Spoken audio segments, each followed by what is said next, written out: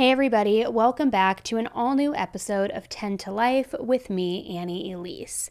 The case we're talking about today is one that has just been incredibly highly requested by all of you. There have been actually more requests than I think I have seen in a long time. And as we began researching this, pulling all of the documents, pulling the affidavits, pulling all of the information we could, it really started to paint a truly disturbing picture. And it's just one of these cases that's happening right now. And that's why I think so many of you guys are requesting it. And it's one that so many people want answers for. And things that are adding up just are painting a pretty sinister picture, as I mentioned. So, what I want to do today is I want to take you guys through the entire case, start to finish. Everything we know, all of the updates, all the documents, everything we've been able to, you know, source and figure out so that we can try to figure out what happened to Elijah Vue. So, guys, we're going to jump right in.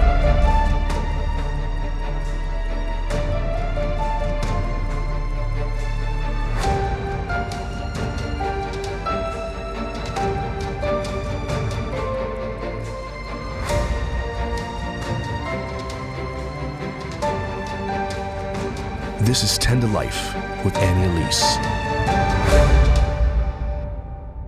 Okay, guys, so I've talked to you about Beam Dream Sleep Tea before. It's the tea that I drink every single night religiously. It is amazing. It tastes like a nice chocolate sweet snack right before bed. It's also only 15 calories, zero sugar. I mean, it's the best, the best, the best. They have the flavors like brownie batter, sea salt caramel, I mean, so many more. Anyways, my point is the last time that I talked with you about them, I showed a testimonial on the screen because I've gotten all of my family, all my friends, everybody, a lot of you viewers hooked on Beam. And you guys loved this testimonial because I think that it's one thing hearing it from me, and when you also hear from other people their results and their experience, I think it just kind of adds weight to it. So instead of sharing another testimonial today, I have plenty and I will share more in the future. I want to talk with you about my Oura ring and the results I've had with Beam according to Oura.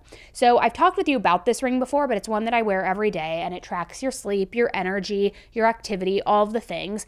And I used to have such terrible sleep before my husband introduced me to Beam that my scores were in the 60s. I mean, trash, horrible sleep. Ever since I have started drinking Beam, guys, my scores are in the 90s. It just shows that there is proof to this thing. And it's not just a faulty score either. In a clinical study, over 93% of participants reported having better sleep when they started drinking Beam. They have like nailed it with whatever ingredients they put in this. I mean, they have magnesium, melatonin, L-theanine, all the good stuff for like sleepy goodness. Plus, like I said, it tastes like you're drinking dessert. So I drink it at about 7:30 p.m. because I drink it about 30 minutes before I want to be asleep. Yes, I go to sleep at 8 o'clock, but it is amazing because it helps me stay asleep throughout the night. I don't wake up in the middle of the night with a million things on my mind like I used to. I also don't wake up feeling super groggy or still tired like I did when I was trying Ambien and all these other sleep aids. You wake up feeling refreshed, more energized, and just like you had rock solid sleep. And again, the proof is right there from my Oura ring. It shows that it really has helped my sleep.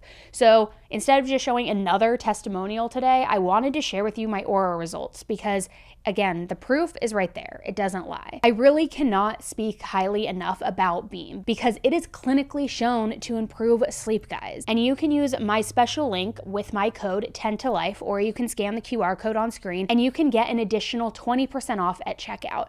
I'm telling you, if you haven't tried it yet, guys, you definitely need to, especially if you struggle with sleep it is going to be a game changer for you. And I am just so passionate about partnering with them because it's something I believe in so much. It is something that has helped me over the last year tremendously. And the fact that I'm able to pass these savings on to you guys, it just makes it all the better. So go try it. Let me know what you think. And I will be back with another testimonial soon because honestly, you guys are flooding my inbox with them. There is no shortage of them. And if you haven't tried it yet, you definitely need to. On February 20th, 2024, an Amber Alert was activated in Two Rivers, Wisconsin. This Amber Alert was for three year old Elijah Vue. Photos of him show his dark blonde hair and his brown eyes. He's approximately three feet tall. He has a birthmark on his left knee, and he was last seen wearing gray pants, a long sleeve dark shirt, and red and green dinosaur shoes. He is also possibly carrying a red and white plaid blanket. Now the Amber Alert went into effect after a 911 call was placed at 10:59 a.m. by a man named Jesse Vang. Jesse told the police that he was babysitting Elijah, that he had fallen asleep, and when he woke up, Elijah was gone. When police got to the apartment where Jesse lived, Elijah was obviously nowhere to be found, and this is what prompted the Amber Alert, which went out an hour and a half later. Now, while the community was jumping into action to help find Elijah, police were trying to figure out what exactly was going on and how this three year old little boy just basically vanished. Now, Jesse initially told police that he was in a relationship with Elijah's mom, Katrina, and that Elijah had been staying with him on and off over the past month or so while he tried to help correct Elijah's behavior. And I say correct because that is their direct quote, but it is nothing like correcting. So he told them that earlier in the morning he had gotten his own son, who has autism, he got him up and ready for school and then got him on the bus at 7:30 a.m. before then waking up Elijah at around 8 a.m. and bringing him into his bedroom and closing the door behind him. Then he says when he woke up around 3 hours later, he realized Elijah was gone and that's when he called 911. Now, we'll get into more of this later on, but Jesse said that any time that he was asleep, he locked the apartment doorknob, locked the deadbolt, and connected the security chain that's at the top of the door.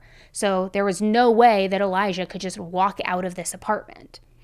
After speaking with Jesse and starting the search for Elijah, a detective spoke with Elijah's mom, Katrina, who lives in Wisconsin Dells, which is about three hours away from Two Rivers.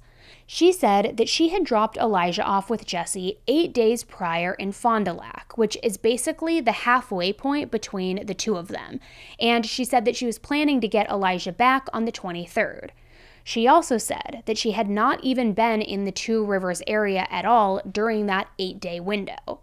Now, her reasoning for sending Elijah to Jesse was because apparently Jesse was what they call the enforcer of the rules. He was like the alpha of the relationship, the enforcer of the relationship. And apparently, she wanted him to teach Elijah how to be a man. Remember, Elijah is three years old. Now, this whole thing apparently had started around Thanksgiving when she was having a conversation with Jesse about Elijah's behavior, and Jesse told her that she needed to try harder to stop it, to stop this three year old's behavior. Oh my gosh, this crazy out of control three year old. So in January, that was when she first sent Elijah to Jesse's house to help correct these behaviors. She admitted to basically giving Jesse free reign on how to discipline Elijah, besides just informing him of the discipline measures that she did not want used. So her examples of discipline that were used were praying, saying he was sorry, and apparently going over the four rules that he was supposed to memorize. Now, it's quite the contrast from what Jesse gave as discipline examples, but we're going to get there.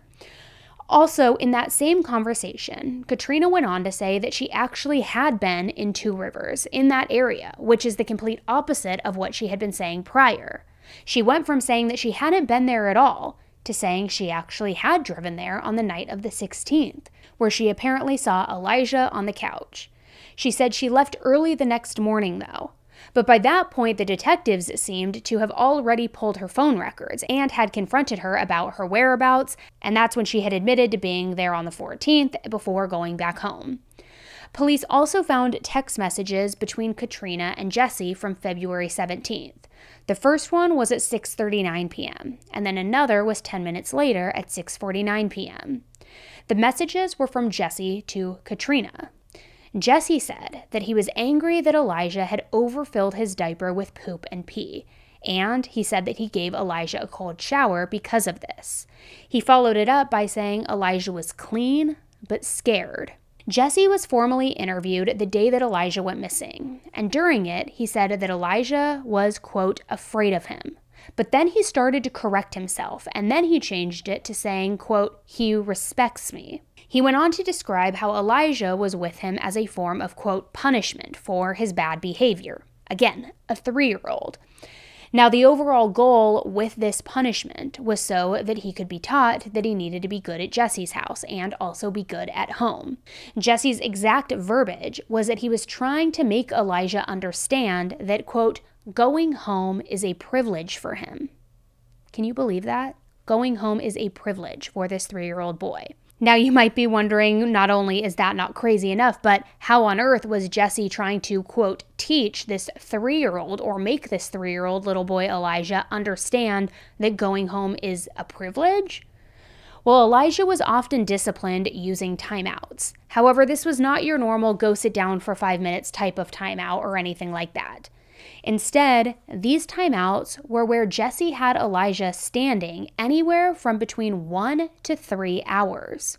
During the timeouts, Elijah was forced to either pray or repeat, I'm sorry, mommy. Now, Jesse said that the majority of the time that Elijah was with him, not only was he in timeout, but Jesse saw this as a form of, quote, boot camp for Elijah. When Jesse was asked what kind of bad behaviors Elijah had that warranted this type of punishment, at three years old no less, Jesse couldn't name anything specific. Nothing other than, quote, getting into things. So let's break that down for a second here, guys, because it is crazy. Jesse was forcing Elijah to stand for hours on end where he either had to pray or say, I'm sorry, mommy, because he was getting into things now, this really goes without saying, but getting into things is literally what three year olds do. And going home is not a privilege for a toddler. It is the standard, it is the norm, it is where they are supposed to feel safe. So, I mean, from everything that I've gathered, it doesn't sound like the quote bad behaviors of Elijah, that these bad behaviors that he was displaying aren't developmentally normal for a three year old. Three year olds should be testing boundaries. They should be throwing tantrums. That's part of them figuring out life, figuring out who's in control. What can I get away with? If I push back hard enough, will I get what I want? That is part of learning. They don't call it the toddler tantrums and the hellish years for nothing. So, in Jesse's interview, he also said that Elijah isn't potty trained and that he usually changed his diaper at least once a day, which let me back that up for a second it's relatively normal for not all three year olds to be potty trained and still be in diapers or pull ups or something like that. What is not normal is to only change that diaper or pull up once a day. So Jesse said that the last time that he changed his diaper was before going to sleep on the 19th, which was the night before Elijah was reported as missing. Jesse said that around 8 or 9 p.m., he changed Elijah's diaper before then going to bed and watching the movie Ready Player One. Apparently, that night, Jesse had three Budweisers and he also took one muscle relaxer to help him sleep. Elijah wasn't allowed to watch this movie, though, because, and these are in Jesse's words, I put him in punishment. So instead of watching the movie, Elijah was standing either in the corner or by the bed next to Jesse. Jesse then said, and I quote, he gets pretty tired from, I guess, standing there. He went on to explain that he wasn't trying to be mean to Elijah, but he was simply trying to make him be more respectful. When asked how long Elijah was punished that night, Jesse said for probably two to three hours. Investigators then asked Jesse what happens if Elijah gets tired or tries to sit down, to which Jesse said, I'll say, Do you want the cold water? Now, I'm not sure what kind of reaction the investigators had when Jesse said that because the affidavit doesn't say, but apparently, right after Jesse said that about cold water, he started to backtrack a little bit. And he said he's fine, it's not like his knees are shaking or he's about to fall over or anything like that, as if that makes it less severe. The interview went on, and Jesse recounted the morning of the 20th. He said he got up, got his son ready for school, saw Elijah asleep on the futon sofa in the living room, and then he took his son to the bus stop. He says that when he came back, he woke Elijah up to eat breakfast. Jesse said that Elijah ate some cereal without milk. Then, after that, they went into Jesse's bedroom. Jesse told Elijah to stand at the corner of or the foot of the bed and start to pray. Jesse said that Elijah wasn't allowed to do any fun things that morning because he was in timeout. And Jesse said that he didn't change Elijah's diaper that morning either because he was too tired. Not because Elijah was too tired, not that that would be an excuse anyway, but because Jesse was too tired to change his diaper. So investigators asked Jesse if Elijah had any toys at his apartment, and Jesse said yes, there was one. There was one that Elijah got around Christmas time. The toy was similar to a toolbox, but again, Elijah wasn't allowed to play with it. He wasn't allowed to play with this toy from February 12th to February 20th because he was in timeout, because he was in punishment, which that is the longest time uh, form of a punishment for a toddler that I think I've ever heard of. I'm just saying this kind of as a sidebar too. I've done a lot of research of timeouts because I have a toddler who is four years old and sometimes needs to be reeled in a little bit. And everybody has their own belief in timeouts, what the length should be, if timeout should be a thing or not. But I remember recently reading that a timeout shouldn't be longer for than however old that kid is. And I think the exact math was it was like it's one minute for each year of age because they're so young and their brain is so little that they're unable to comprehend time longer than that and like what that punishment goes to. Sorry, I'm conveying this really poorly. But basically, that if you put a four year old in timeout for 20 minutes, the effectiveness is going to lose after four minutes because their brain can't adapt to that. So anything after a four minute time period, it's just kind of like cruel and unusual punishment because they're not understanding. And at that point, they're even forgetting why they're in timeout to begin with, and it's just not as effective. But here, little three year old Elijah wasn't in timeout for three minutes. He wasn't in timeout for five minutes. He wasn't even in timeout for three hours. He was in timeout for eight days. So they asked Jesse what happened if these timeouts weren't working. To which Jesse replied that he would usually give Elijah an ultimatum. And usually that ultimatum was saying, Do you want cold water?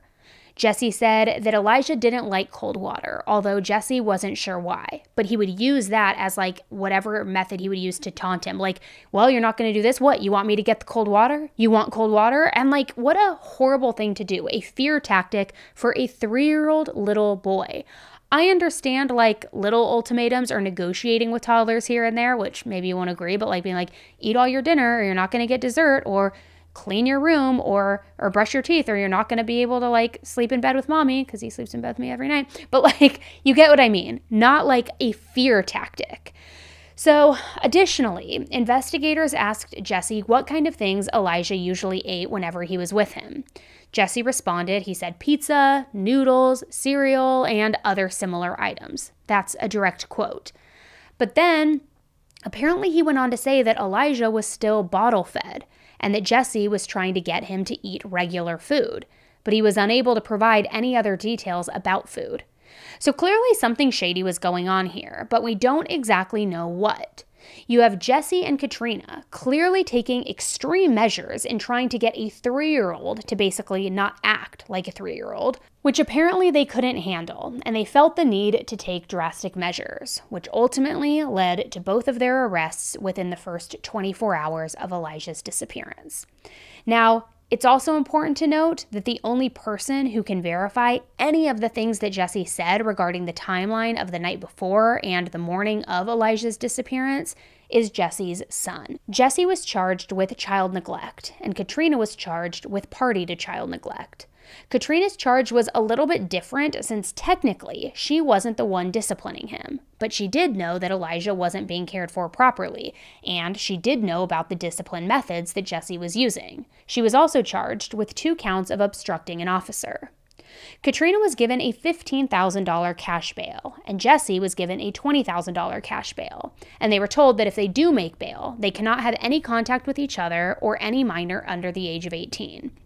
This includes Elijah's sister, who has since been removed from Katrina's care and allegedly has been placed with family, although I haven't been able to confirm that. So they're still in jail, but there's still a bigger issue here because where is Elijah? Wednesday night, Two Rivers police going before the cameras for the first time in the search for three year old Elijah Vue. I assure them and the public that we are doing everything in our power to bring Elijah home safely. Investigators pleading for help from the public. Anyone with any information, no matter how insignificant it may seem, please come forward and share that. But not sharing any new information or answering questions from 12 News. Can you talk a little bit about why this rose to the level of an Amber Alert? Just talk about certain. Dozens of community members, many who don't even know the family, searching for Elijah Wednesday. Just where is he? The boy reported missing Tuesday morning by what police are calling an adult caretaker family heartsick and worried. Words can't explain what we're going through. I know we're our hearts are very heavy right now at this time. You know, we're all trying to be very hopeful. Now, the search for Elijah has been massive. Immediately upon finding out that he was missing, the local police department made use of every possible resource that they could. This includes the Wisconsin Department of Criminal Investigations, the FBI, a child missing, National Center for Missing and Exploited Children, all the county agencies, fire departments, social media posts, drones, canines, helicopters, boats, dogs. I mean, even teams of officers and agents out on foot speaking with people door to door. Law enforcement also encouraged neighbors or anybody in the area to look at their home surveillance cameras or search their personal property, hoping that some sort of tip will be generated. There will be some sort of lead. On the night of the 20th, reporters outside Jesse's apartment complex saw investigators collect a small slip on shoe and put it into an evidence bag. The cemetery is where law enforcement has set up a mole command unit for the night, but we've seen the community walking up and down these sidewalks, most who don't even know Elijah, calling out his name, searching for him. Take a listen.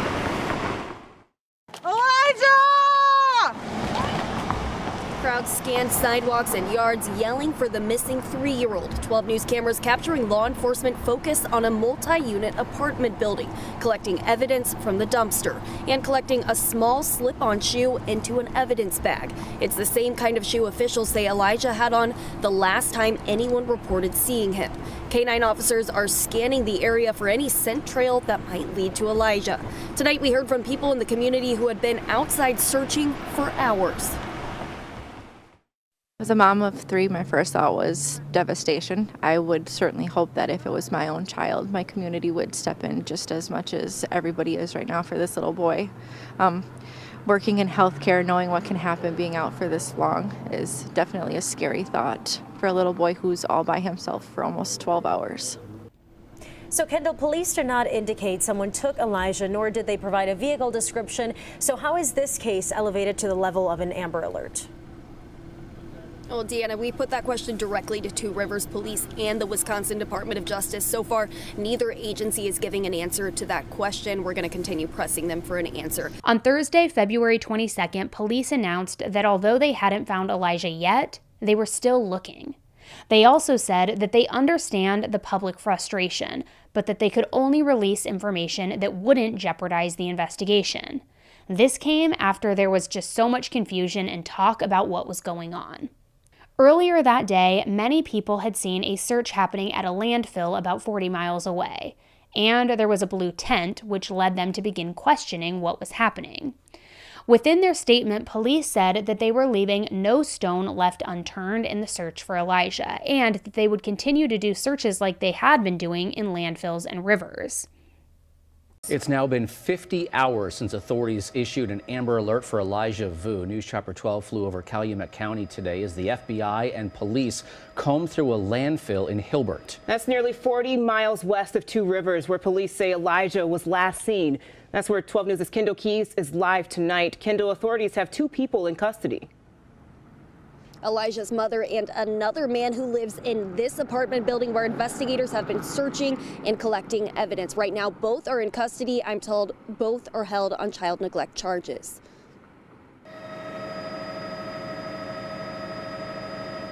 The search for missing three-year-old Elijah Vue crossed county lines Thursday. News Chopper 12 capturing exclusive video of FBI agents in hazmat suits searching a landfill in Calumet County. Heavy machinery working near a blue tent. The FBI telling 12 News they're assisting Two Rivers police in their investigation of the missing boy, but would not say what, if anything, they found.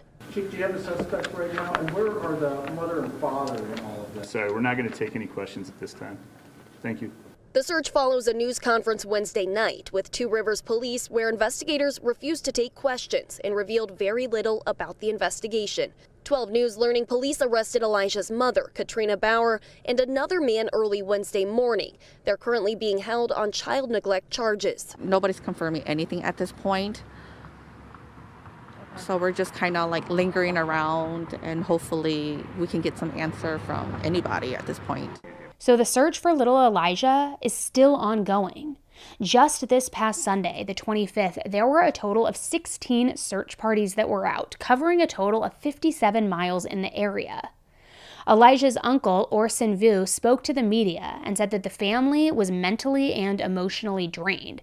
But they've been uplifted by seeing strangers organize their own searches and seeing the encouraging messages that they have received from all around the U.S. and even beyond that. The search for three year old Elijah Vue, investigators are bringing in more tools.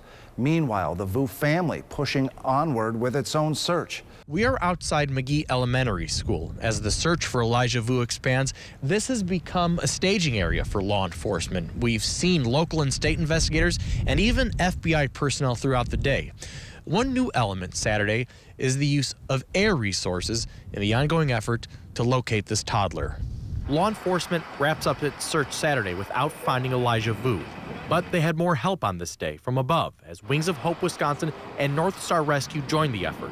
Two Rivers Police Chief Ben Meinert says the focus was on waterways, particularly the east and west Twin Rivers that give this community its name. Mentally, emotionally, uh, both me and my family were all drained. On the ground, about 10 minutes to the south, members of the Vue family combed through a wooded area outside Manitowoc. Elijah's uncle, Orson Vue, says the family appreciates the outreach from strangers organizing their own searches to a flood of supportive messages. I think I speak for myself and my family when I say we we are so grateful for all of you um, and the authorities uh, that are uh, working on this investigation. Vue says he followed along Friday when Elijah's mother, Katrina Baur, had a bail hearing on child neglect charges. He says the Vue family hasn't seen Elijah since he was about six months old. And to see him like this, you know, again for the first time in how many years, it's it's gut wrenching, heartbreaking, you know, all those bad emotions. Prosecutors say Baur gave Elijah to Jesse Vang, who is also facing child neglect charges. The reason was for discipline, and prosecutors say Baur knew about the quote tactics Vang would use, but did not specify what that meant. At this point, Vue says the family is withholding judgment. We, we're not going to rule anything out, but we're not going to, you know, just come out and put blame on one particular person and say they did this or that when nobody really even knows anything yet. Both Baur and Vang are set to appear in court again on Monday afternoon. The police chief, Ben Meinert, here in Two Rivers, confirms the investigation has gone beyond northeast Wisconsin. The search is also taking place in Wisconsin Dells, where Baur lives. Reporting in Two Rivers, AJ Bayatpour, CBS 50. Now, I just have to say, in my opinion, poor little Elijah was let down by his own mom, who left him with a man that had a previous child abuse charge among his lengthy criminal record. See, his past charges, Jesse's past charges, included criminal damage, battery by prisoner, manufacturing cocaine, two possession of cocaine charges, fleeing an officer, resisting, obstructing an officer, and bail jumping. Now let's talk about Katrina, Elijah's mom, a little more. Elijah's older sister was born in May of 2017. Elijah was born in 2020. Their father is a man named Jimmy, and Katrina was with Jimmy until February of 2021. She posted a video on her TikTok showing pictures of bruises and other injuries that her abuser, aka Jimmy, had inflicted on her, and that was until she left. The video was posted in March of 2023 and was basically showing how much she has healed and how far she has come. And honestly, it is a touching video. Now, around this same time in February of 2021, Jimmy was arrested on a slew of charges. He went to trial in October of 2022 and he was convicted of physically harming a child, high probability of great harm, possession of a firearm as a convicted felon, battery, disorderly conduct, possession of THC with intent and possession of methamphetamine. I mean, just not the person you would necessarily want around your children. He is currently serving several years in prison, however, has recently filed an appeal just this month. According to Katrina's own posts, after leaving Jimmy, she didn't have a home. She also lost custody of both children just two months later in April of 2021. Katrina posted a TikTok in March of 2022 saying her kids come home from foster care on April 14, 2022. So since then, she has had custody of both children. There's not much known about what was going on between then and when she started hanging out with Jesse in November of 2023. We don't know if any abuse was going on before or what. However, Elijah's older sister is on the spectrum. Katrina has been known to reach out to others on social media for help in handling some of the challenges that she was having with her daughter. And I want to be clear that I'm not bringing these up to bash her for asking for help in Facebook groups or anything like that, because I do think that most of us who are moms have reached out to at least someone at one point or another asking for advice on how to handle a certain situation or how to problem solve or something like that. So I'm just trying to give you a little bit more insight into what may have been happening in their home. In one Facebook group, she wrote about how she was basically at her wits' end and didn't know what to do with her daughter's violent outbursts, and she was asking for advice. She said she's physically and emotionally drained and barely has the energy to do anything else other than deal with her meltdowns and with her violence. At the end of the post, she says it's gotten to the point that all she does is yell at her. If that's true, there's a Facebook post by a woman that kind of corroborates Katrina's statement.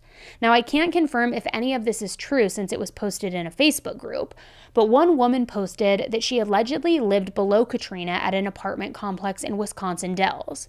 She says, quote, I called the cops multiple times, and I know other tenants did too because of the way that she was always screaming at her kids and yanking them around by their arms. She did not let those children act like children at all. The kids would stand in their bedroom window and bang on it every time we were outside just to wave and say hi, and then they would get screamed at. Every time that the cops came to check on them, they would come back to us and tell us that they didn't see anything that caused concern, and that there was so much noise up there because Katrina washes her dishes kind of loudly. I tried so many times to tell them something was not right in that apartment, and I was ignored every time. This was also usually well after 10 p.m. that we would call because she was still screaming at them and waking my own family up.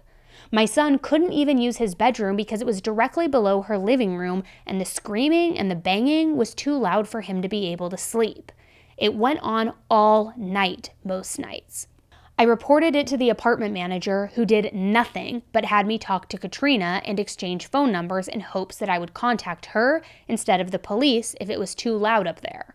Right now, breaking news the FBI is now offering a reward up to $15,000 in the search for a missing boy in Manitowoc County. Three year old Elijah Vue was reported missing one week ago today. His disappearance sparked an Amber Alert. Do police believe Elijah left that residence on his own?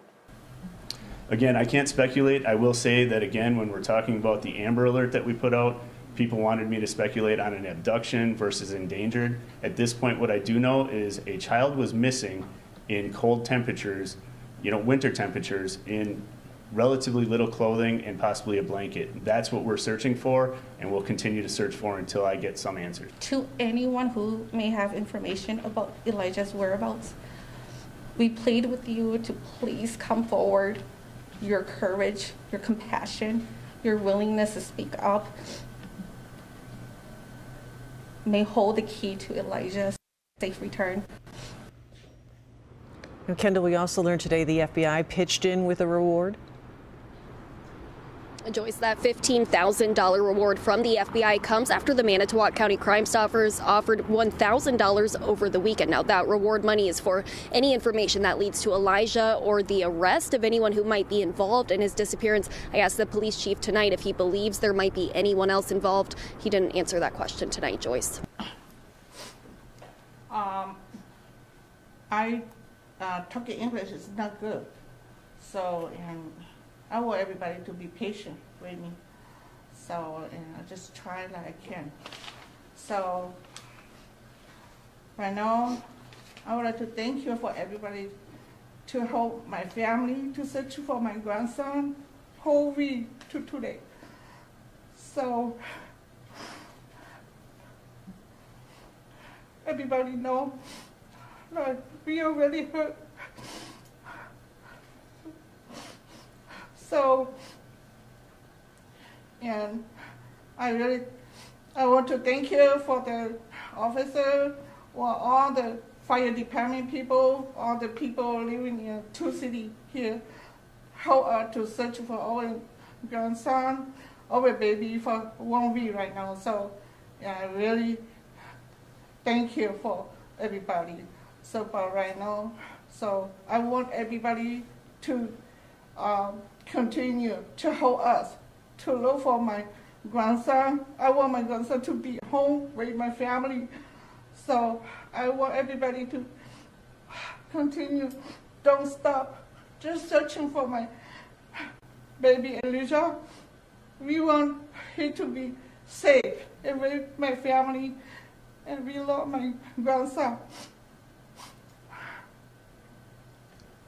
Thank you, Father. Elijah was being punished for being a three year old. He was given cold showers for overfilling his diaper, which they weren't changing. And yet, in Jesse's own statement, he said that on one occasion he was too tired to change Elijah's diaper. So, what's going on here? It seems to me like he was punished for simply existing because he was an inconvenience to these people. How can you punish a three year old for things that are quite literally out of their control if you're just being lazy, you don't want to change their diaper, and you don't want to deal with the responsibility of being a parent or being an adult figure in their life? Kids have tantrums, kids soil their diapers, kids want to eat, kids want to be kids. That's nothing to punish them for. It is just absolutely heartbreaking, and it just illustrates that not everybody is meant to be a parent. And I hate this case so much because it is so eerily similar to Quinton Simon. I am hopeful that there will be a rescue for little Elijah. Do I think there will be? I don't know. I think it will probably be a recovery and not a rescue, but I certainly hope that I'm wrong. But as more information comes out in this case, I will definitely jump on here and update you guys. So if you're not subscribed to the channel yet, take a quick second to hit subscribe so that you don't miss those future updates. What do you think about this case? What else have you heard that maybe I've missed? I've tried to keep a lot of the speculation and rumor mill out and keep it mainly to facts and court documents and things like that. But let me know in the comments what else you've heard about this case and what you think. Where is Elijah? All right, guys, until the next one, stay safe. Bye.